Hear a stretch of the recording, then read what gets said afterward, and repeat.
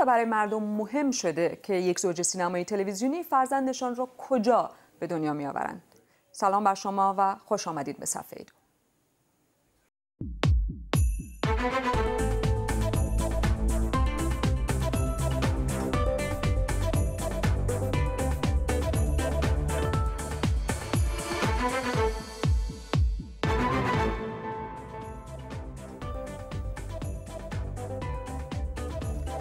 رامبد جوان یک مجری مشهور و محبوب در یک جنگ تنز تلویزیونی است. همسرش نگار جواهریان هم یک هنرپیشه به نام است. این دو حالا در کانادا هستند همزمان با اکران فیلم قانون مورفی ساخته آقای جوان و گفته شده که قرار است فرزندشان هم آنجا به دنیا بیاید.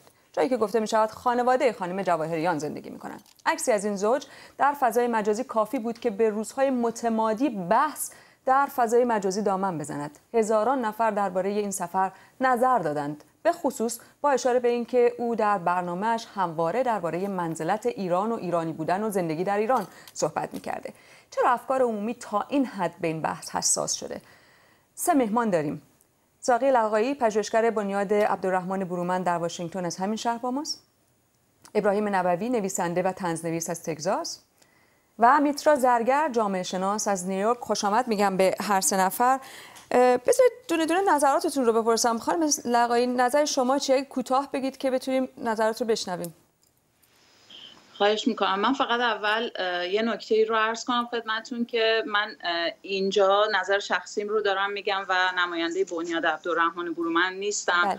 بله. در خدمتونم اگر اجازه بدید من می‌خوام بگم که مایلم راجع به یک طیف از سلبریتی ها و هنرمندان در واقع صحبت کنم. اونها رو خطاب یعنی درباره موضوع اونا صحبت کنم که حالا آقای رامبود جوان به عنوان در واقع یک نمونه از یک طیف اینجا الان مطرح هست. اینکه وقتی که کسی در واقع پشت دوربین میلیونی تلویزیون قرار می‌گیره برای سالهای متمادی و به همون واسطه در شبکه های اجتماعی دنبال کننده های میلیونی بیشتر از 9 میلیون مثلا در اینستاگرام داره. به عنوان یک سلبریتی فضای مجازی هم شناخته میشه. در واقع و از طرفی میاد راجع به مسائل خصوصی زندگیش راجع به ازدواجش راجع به باردار شدن همسرش جنسیت فرزندش صحبت می‌کنه. دیگه خب ما نمی‌تونیم انتظار داشته باشیم که مردم واکنش نداشته باشن. وقتی که ایشون تصمیمی می‌گیره مقایر با اون حرف هایی که در واقع مطرح می‌کنه پشت آنتن و در رسانه های مختلف و نظری ندن. آقای نوابی نظر شما چیه؟ من دیدم که شما جناب خان رو هم بغل دستتون دارید به نظر میاد که شما جزو علاقمندان اون برنامه خندوانه آقای جوان هم هستید. نه نه اصلا من طرفدار برنامه خندوانه به طور خاص نیستم. اتفاقا خیلی برنامه لوسی هم هست. یعنی در واقع خود برنامه برنامه لوسیه. و اصلا دوست ندارم. ولی جناب خان شخصیتیه که در واقع نجات داده اون برنامه رو از موقعی که وارد شده. و همچنین مجموعه کارهایی که این بچه ها دارن می‌کنن تحت عنوان خنداننده شو. یعنی در واقع دارن یه به یه شکلی دارن استنداپ کمدی رو به صورت مستقل توسط آدم های مختلف توی کشور را میندازن و خیلی کار خوبی هم دارن می‌کنن رامبد جوان با بقیه سلبریتی هایی که من من با حرف خانم دقایق کاملا موافقم که سلبریتی ها توی کشور دارن واقعا سوء استفاده می‌کنن از موقعیت و معروفیت خودشون و اگر حرفی رو بزنن مثل حرفایی که بعضی از اونها زدن که منافات داشته باشه با رفتاری که می‌کنن طبیعتا بر اساس میزان قدرت که دارن همه حق دارن ازشون انتقاد بکنن. من چون فکر می‌کنم که رامبد در برنامهش در ماهیت برنامهش یه برنامه انتقادی بوده یه برنامه تفریحی بوده و به هیچ وجه یا ممکنه در حدی که به عنوان یک کسی که بتونه تو ایران کار بکنه حضور داشته. تیکه های مختلفی هست که از زبان جناب خان مطرح میشه. یعنی در واقع یادمون نره که اصلا اون برنامه گویندش رامبد جوان نیست. گوینده اون برنامه جناب خانه و در واقع او هست که بارها راجع به قضیه آب خوزستان حرف زده راجع با قضیه آقای مسئله اصلی در مورد این بحث این هست که میگن آقای جوان در برنامهش بارها در مورد منزلت ایرانی بودن منزلت زندگی در ایران اهمیت ماندن در ایران صحبت کرده. الان خودش وقتی می‌خواد بچه دار بشه رفته خارج از کشور. این انتقادی هست که بخشی از منتقدان مطرح می‌کنن. شما فکر می‌کنید این انتقاد واردی هست؟ من فکر نمی کنم انتقاد واردی باشه. کسانی که بیرون ایران زندگی می‌کنن کسایی که توی آمریکا یا توی همون تورنتو زندگی می‌کنن یا تو لس آنجلس زندگی می‌کنن تگزاس زندگی می‌کنن برای همه اینا ایران مهمه منزلت ایران مهمه و خیلی از اینها نمی‌تونن برن توی ایران. من خودم نمی‌تونم برم. ولی آقای رامبود جوان نه کار غیر قانونی کرده نه کار غیر اخلاقی کرده نه سوء استفاده کرده نه آزاده بوده. ایشون رفته یه برنامه رو شرکت بکنه و همسرش هم ممکنه اونجا بچه دار بشه ممکنه ویزا هم بگیره ممکنه بعدش بیاد اونجا زندگی کنه. ما باش دیگه چیز بشیم دوست بشیم خانم زرگر شما جامعه شناسید. شما چطور می‌بینید این همه واکنش؟ روزهاست که این واکنش ادامه داره. همین حالا روی گوگل شاید بیشترین سرچ بیشترین جستجو در مورد همین قضیه است در, در ایران. فکر می‌کنید چرا مردم اینقدر حساسن؟ الان در موقعیتی هستیم که حمله شده به ناوهای ژاپنی گفته میشه که اینها مثلا به کشتی ژاپنی گفته میشه که ممکن است اصلا پای جنگ وسط بیاد ولی به نظر برای مردم یک همچین قضیه باز هم در جستجوهای گوگل بالاتر قرار می‌گیره. فکر کنید چرا؟ هم به فهمیدی نزدیک جامعه شناسی سعی می‌کنم مسئله رو تحلیل کنم. کاری ندارم با رامبود جوان و به برنامه چطوری. یا به موزگیری ایشون. بحثی که از بحث تاثیر استفاده ابزاری از رسانه ها در ایران و به خصوص برای جمهوری اسلامی به عنوان یک نظام توتالیتر استفاده ابزاری از رسانه ها خصوص رسانه رسمی جایگاه بسیار مهم و با اهمیتی داره. به این معنی که این نظام مثل بقیه نظام های تمامیت ها سعی داره تا نظام ارزشی و هنجارهای خودش رو نه صرفت از طریق جبر و سرکوب سیاسی بلکه با سلطه تامش بر فضای رسانه‌ای بر تبلیغ نظام ارزشیش بر جامعه اعمال کنه. بنابراین حاکمیت سعی می‌کنه در جهت این هدفش از هنرمندا بهره بگیره و اونا رو به خدمت خودش در بیاره. حالا این خدمتگیری می‌تونه به طور مستقیم یا غیر مستقیم در جهت تبلیغ نظام ارزشیش باشه.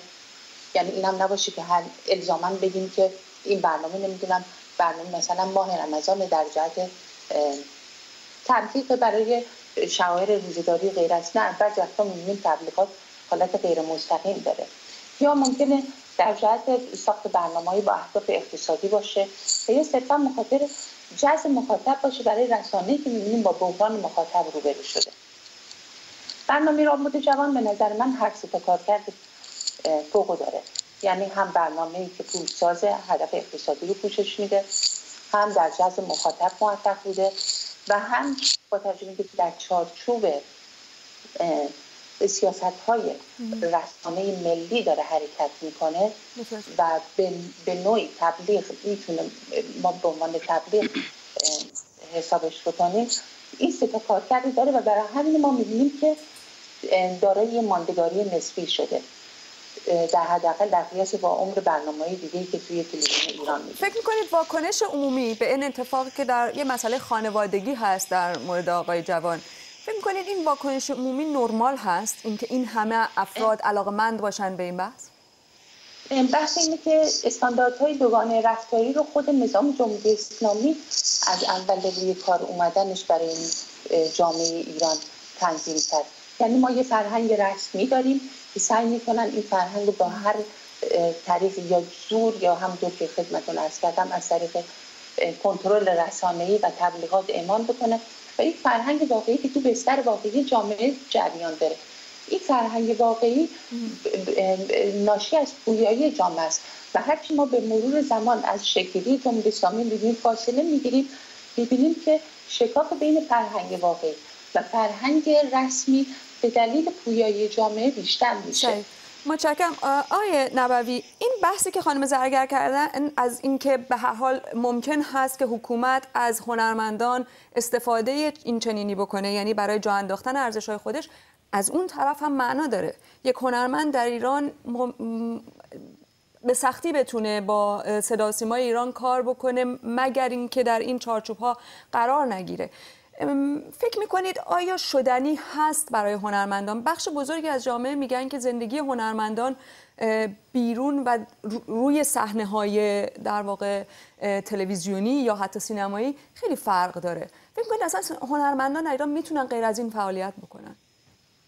ببینید اصلا من اون تعریف اولیه‌ای که خانم زرگر فرمودن راجع به اینکه تو ایران یه سیستم توتالیتر هست با تعاریف که از سیستم توتالیتر گفته میشه من به نظر من سازگار نیست.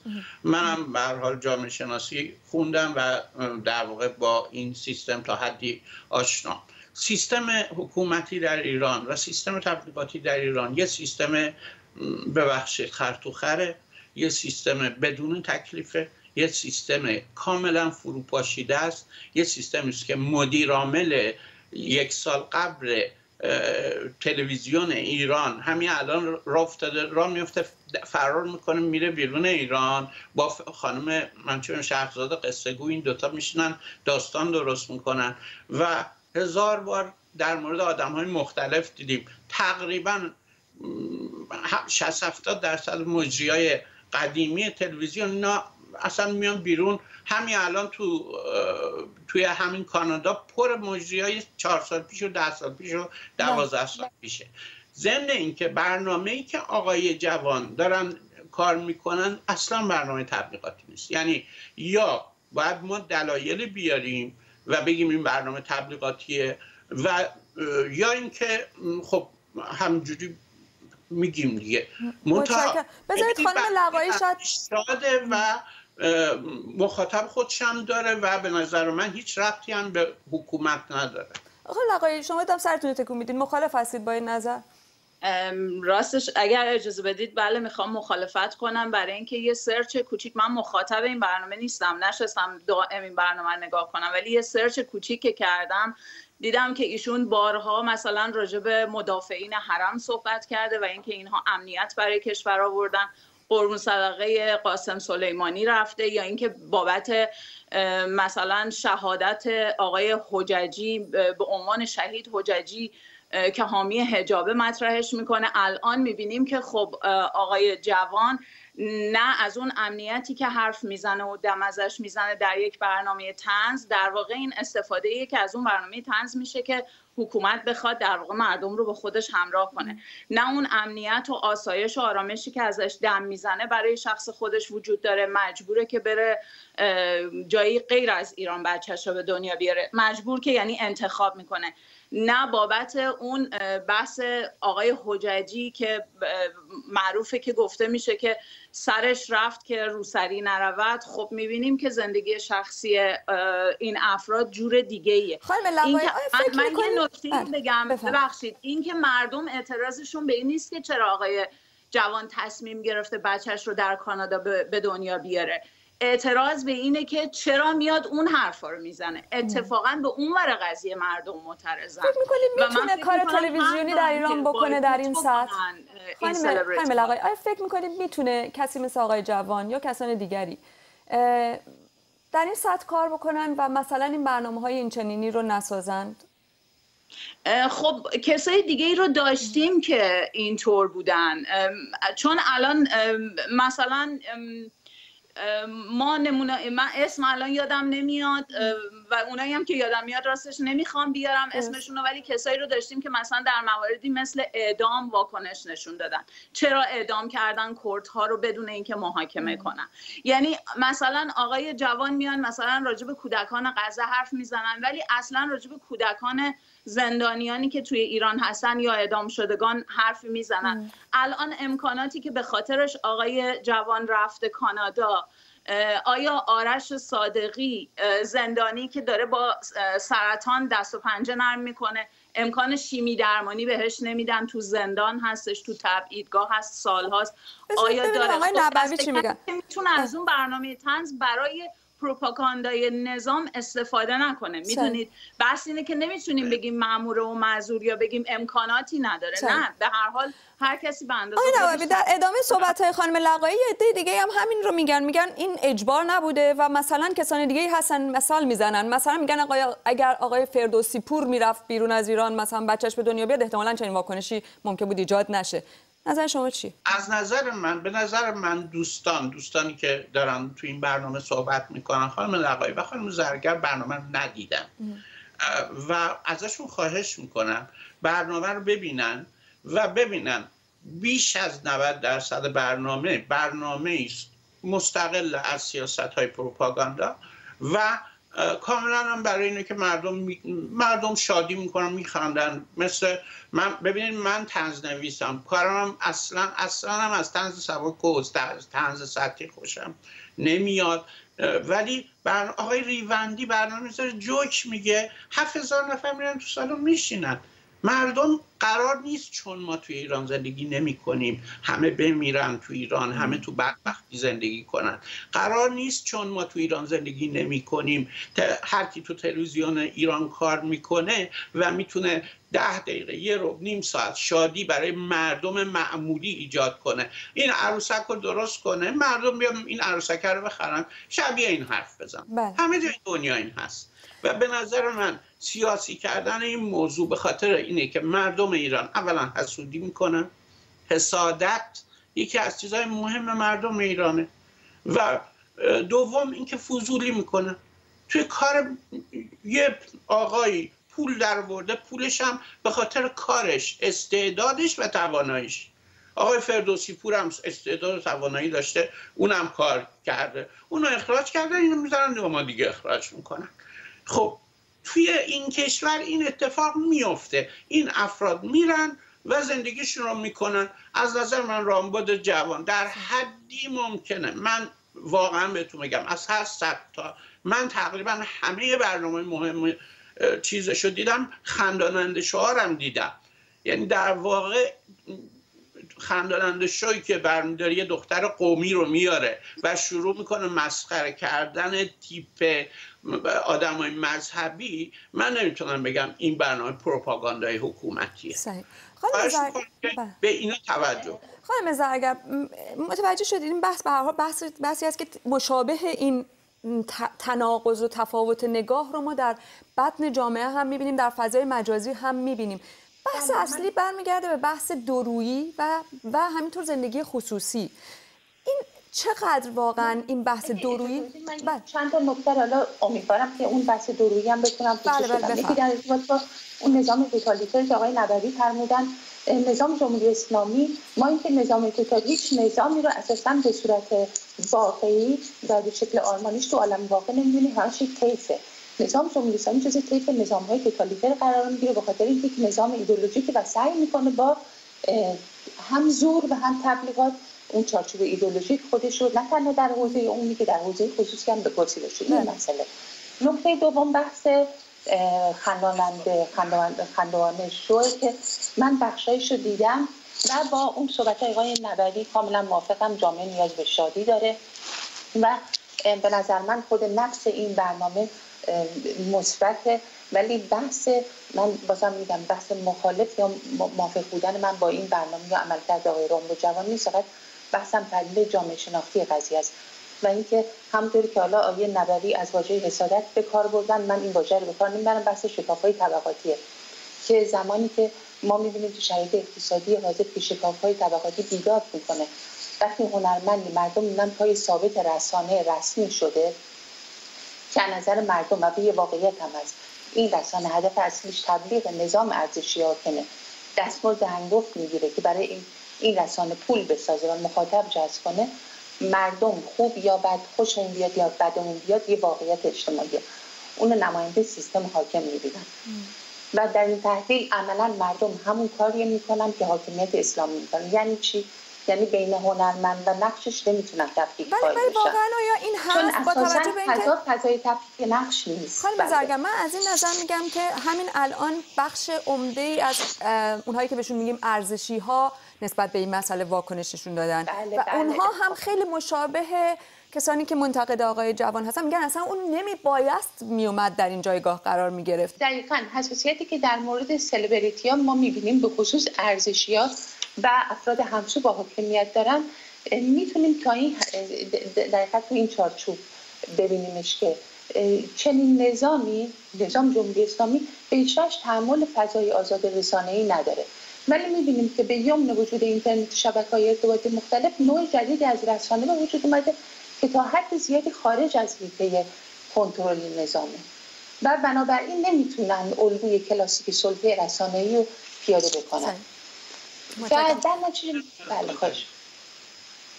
بله. من خانم لقایی چون شما اشاره کردید به اینکه به هر حال بخشی از این برنامه به نظر شما پروپاگانداست اینو از شما می‌پرسم. ما می‌دونیم این کاملا روشن هست همه در جریانیم که بخش عمده ای از جامعه فرهنگی هنری ایران منطبق بر ارزش های نظام ایران زندگی نمی‌کنه. آیا شما شما مخاطب نوعی ترجیح می‌دید که این بخش کاملا حذف بشه از رسانه های بزرگی مثل صدا و سیما؟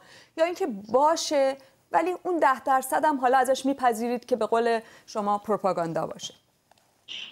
ببینید نکته اینه که اول اجازه بدید من بگم من مثال هایی که آوردم همشون داخل ایران هستن. هیچ کدومشون بیرون از ایران زندگی نمی‌کنن که بگیم که چون ما اومدیم بیرون اونا حق ندارن. به هر حال معترضانی که در واقع اعتراض دارن می‌کنن داخل ایران هستن. یه گروهیشون طرف در واقع محافظه کار و تندرو حاکمیت هستن. اتفاقا اونا اعتراضشون متفاوت از بقیه. اونا اعتراضشون به این نیست که چرا داری تبلیغ نظام می‌کنی و چرا درویی.